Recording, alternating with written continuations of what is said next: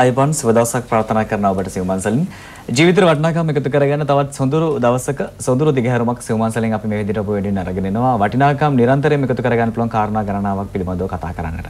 සමාජය වෙනුවෙන් අපිට යම්කිසි දෙයක් කරන්න පුළුවන් වුණොත් අපි සමාජයත් එක්ක අත්වල බැඳගෙන ඉස්සරහට අනිවාර්යෙන් ලොකු ගමනක් අපිට යන්නට පුළුවන්.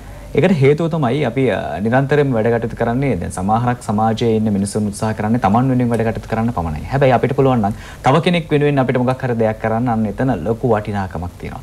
අද දවසේ සිව්මන්සලින් අපි කතා කරන්නේ එවන් වූ වටිනාකමක් පිළිබඳව. ඉතින් ඒ සඳහා අද දවසේ සිව්මන්සල වෙනුවෙන් පැමිණි ආරාධ්‍යන් දෙපළ තමත් ගෞරවයෙන් පිළිගන්න සෝදානම් ඊට කලින් මම මතක් කරන්නම් ඒ ඔවුන් සහභාගී වන පදනම කොමක්ද කියලා. සත්සිලු සමාධි පදනම බෝම්බුවල මේ පදනමින් උතුම් වූ කාර්යයක් නිර්මාණය වෙනවා. කාර්යයක් කරනවා. ඒ සඳහා මුලසම දරන නිලධාරීන් දෙපළක් තමයි දවසේ මගෙත් එක්ක සිව්මාන්සලෙන් සහභාගී වෙන්නේ. ඊටමත් ගෞරවයෙන් පිළිගන්නවා ගරු නිලධාරී මණ්ඩලය නියෝජනය කරමින් ගරු සභාපතිතුමන් ටී රංගතුෂාර මැතිතුමාව ඊටමත් ගෞරවයෙන් ආයුබෝවන් කියලා. ඒ වගේම මම පිළිගන්න සූදානම් ගරු ලේකම්තුමන් චතුර ජයකාන්ත මැතිතුමන් ඊටමත් ගෞරවයෙන් පිළිගන්න ඔබතුමාවත් ආයුබෝවන් කියලා. ඉතින් මං කැමති දැනගන්න දැන් මේ සත්සිරු සමාධි පදනමින් බෝම්බවල සත්සිරු සමාධි පදනමින් සමාජ සත්කාර රැසක් කරනවා. ඒ අතරින් මේ සමාජ මෙහෙවර උතුම මොකක්ද මේ වැඩසටහන? සම අපි සභාපතිතුමා කතා කරමු.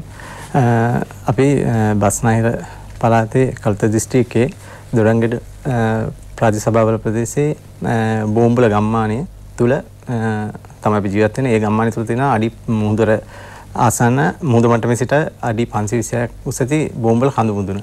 කඳු මුදුනේ මත මේ සමාධි බුද්ධ ප්‍රතිමා වහන්සේ නමක් ඉදි කිරීම ලා මේ ඒ අරමුණෙන් ක්‍රියාත්මක වෙන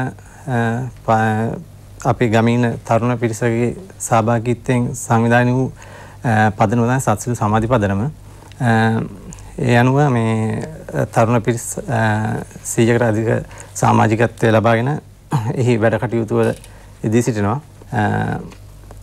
ඒ වෙනුවෙන් තමයි මේ සියලු කටයුතු මේ පදනම වෙනුවෙන් ඉටු කරමින් පවතින්නේ.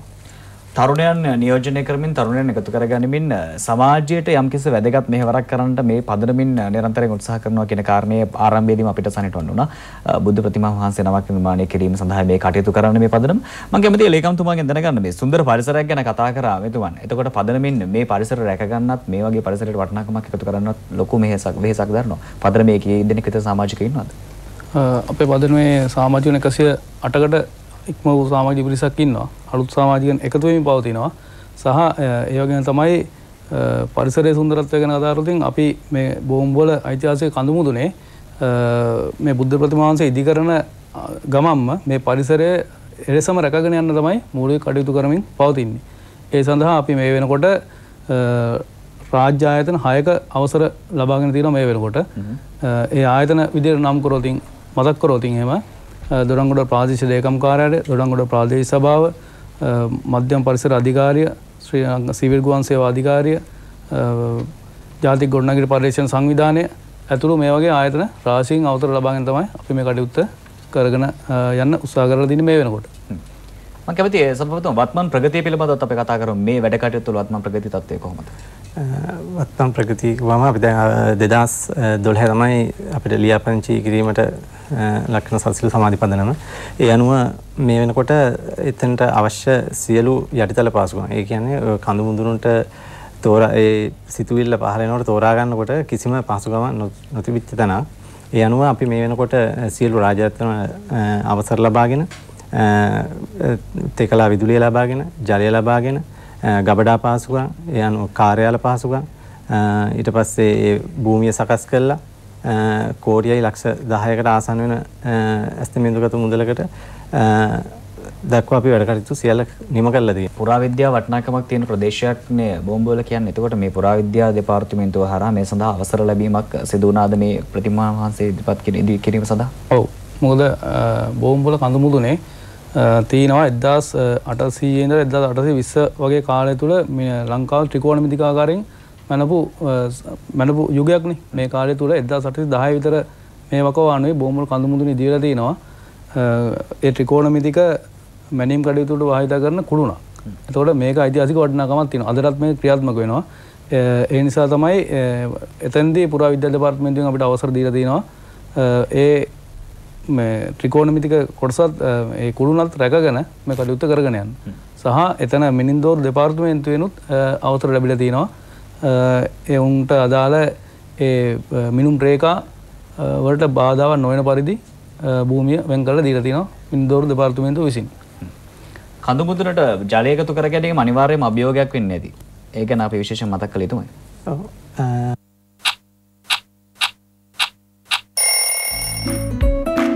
නව සිගනල් ට්‍රිපල් ප්‍රටක්ෂන් 123 දත්වලට එක්ස්ට්‍රා සැලකිල්ලක්.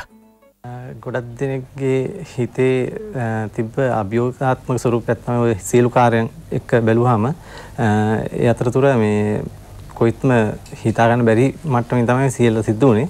අ, ඇත්තම කිව්වොත් ගම්වාසීන්ගේ සීනයක් සැබෑ වුණා හා සමානයි මේ සියලු වැඩ කටයුතු. අ, වතුර ලබා ගැනීමේදී සෑහෙන අපිට මුදල් අ, සපයගන්නේ කොහෙන්ද කියන ගැටලුවේදී අ, අපි ලොකු අපහසුතාවයකට පත්ලා තිබ්බා. ඒ සියල්ල අපේ මේ මේ ගමන අපේ සිතුවිලි පිරිසිදු නිසා හැමදේම අපිට මේ ඉක්මනට සියල්ල ලැබුණා. සුන්දර පරිසරයකට තවත් වටිනාකමක් එකතු කරන්න තමයි මේ කාර්යය නිර්මාණය වෙන්නේ. ඉතින් පරිසරය විනාශ කරන පරිසරයට ප්‍රශ්න ඇති කරන මිනිසුන් අතරේ මේ වගේ උතුම් ක්‍රියාවන් ගැන අගය කළ යුතුමයි.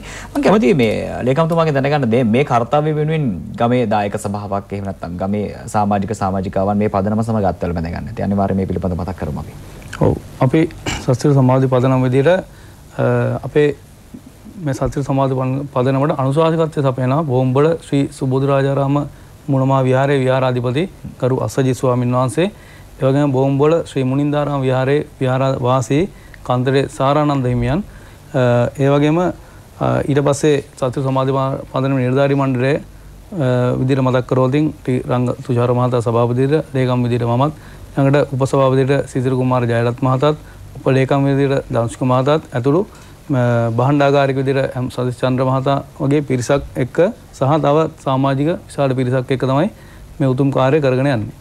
දැන් බෝම්බුවල ওই ප්‍රදේශයේ ඔය සුන්දර පරිසරයට ඔය කඳු මුදුනට ප්‍රවේශ වෙන්න විවිධ විවිධ මාර්ග ඇති. ආදරණීය ප්‍රේක්ෂකයෝ බලාගෙන ඉන්නවා යම් කිසි දවසක අපිටත් ඔතනට ওই සුන්දරත්වය දැක බලා ගන්නට අ, වැඳ පුදා ගන්නට ඔය එන්න පුළුවන් අවස්ථාවක් තියෙනවා නම් වටිනවා කියන එක. මම කැමති ප්‍රවේශ මාර්ග පිළිබඳව පොඩ්ඩක් මතක් කරනවා.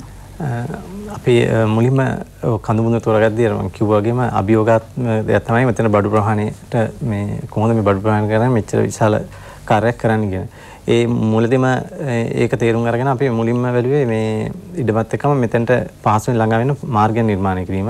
ඒ ගමේ අ, ඒ අවට ප්‍රදේශවාසීන් එක්ක එකතු වෙලා අපි අ, මේ පොළොව මට ඒ කියන්නේ මුහුද පා- මේ බි- පාත මට්ටමේ ඉඳන් කඳු මුදුනට මේ අ, පාරක් නිර්මාණය කරා. නිර්මාණය කළා. ඒක අර බෑවුම් සහිත නිසා හේදි මේ හේදි කාදනයට ගොඩක් ලක් වෙන නිසා අපි පාර කොන්ක්‍රීට් කරන්න අන්තිපදයෙන් මේ තීරණය අරන් කොන්ක්‍රීට් කළා. මේ කඳු මුදුනට බඩු ප්‍රවාහණයට වාහනයකින් කෙනෙකුට එන්න පුළුවන් විදිහට පාර නිමා කරලා තිනවා. අ, මේ පාර වැටෙන්නේ කල්තර බෝම්බුවල මංකඩ දෙයිගහවල හරහා.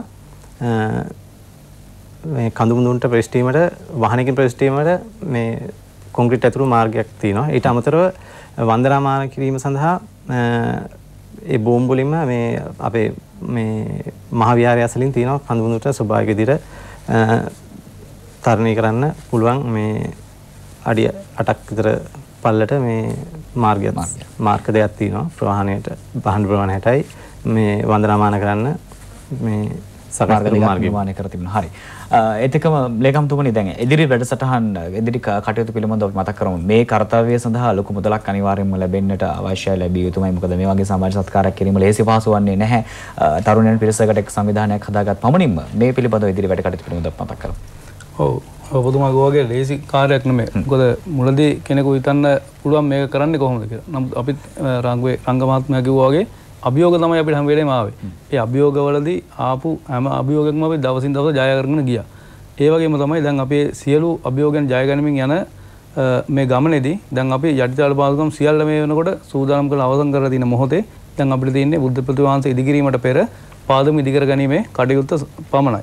එතකොට මේ සඳහා පාදම ඉදිකිරීම සඳහා අපි මේ වෙනට ඇස්තමේන්තු ගත කරලා දිනවා සම්පූර්ණ පිණුවාන්සේ ඉදි කරලා අවසන් කරන්න රුපියල් කෝටි 13ක විතර මුදලක් වැය වේ කියන එක. ඒ අතරින් පාදම ඉදි කරලා අවසන් කරගන්න මූලික කටයුත්ත විදියට රුපියල් කෝටි අ, එකමාරක වගේ මුදලක් තමයි ඇස්තමේන්තු ගත කරලා තියෙන්නේ. අ, එතකොට මෙන්න දැන් අපිට තියෙන ඊළඟ අභියෝගය තමයි මේ පාදම ඉදි කරගන්න එක. මේ පාදම ඉදි කරගන්න තමයි අපි මේ වෙනකොට ලයි ලයියේ කටයුතු කරමින් ඉන්නේ. ගමේ ඉන්න පුද්ගලයින් මේ වෙනකොට ගෙවල් වල ඉන්න අය අ, කොටස් වශයෙන් අපිට ආධාර සපයමින් ඉන්නවා. ඊට අමතරව ගමේ තියෙන මූල්‍ය ආයතන මේවා අපිට ආධාර දෙන්න දැන් අ, කටයුතු කරමින් ඉන්නවා. සහ ඒ වගේම තමයි අපි රටේ ව්‍යාපාරික ප්‍රජාවෙන් අපි බලාපොරොත්තු වෙනවා. හැකියාවක් තියෙන පුද්ගලින් අපි බලාපොරොත්තු වෙනවා. මේ උතුම් කටයුත්ත සාර්ථක කර ගැනීම සඳහා අපිට සහයෝගය ලබා දෙයි කියලා. අපි දුරකථන අංකයක් තියෙනවා ඒ පිළිබඳව මතක් කරමු.